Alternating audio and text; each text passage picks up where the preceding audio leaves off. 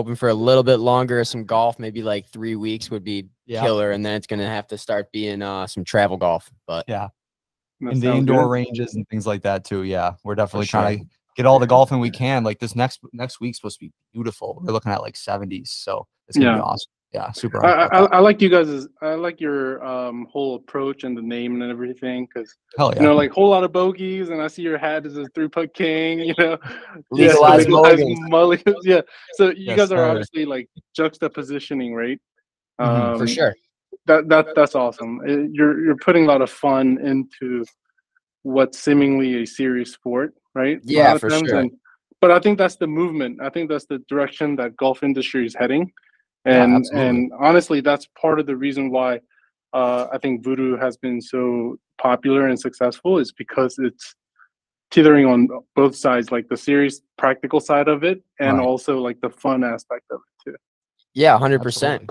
And uh, yeah, I appreciate you uh recognizing like how we're kind of being fun about everything and trying to just Yeah. get like the average amateur golfer involved. You know, like there's plenty of guys out there right now that are going to be uh getting birdies every single round, maybe dropping the occasional eagle.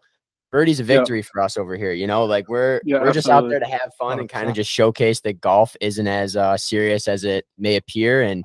Let's get Yeah. into it while you're young enough still so that when you're older, you're really enjoying it, you know? Definitely. That, that, that that's awesome because you know, obviously I write, you know, stick your tees in these holes to uncurse your game, but I have a little asterisk that says, um, you know, don't take it too seriously. Golf is already hard as is, right? Exactly. Yep. So- I also Exactly. the, that little Yeah. joke you put on the bottom too, like for any reason, if your voodoo is doo doo, like I thought that was Yeah.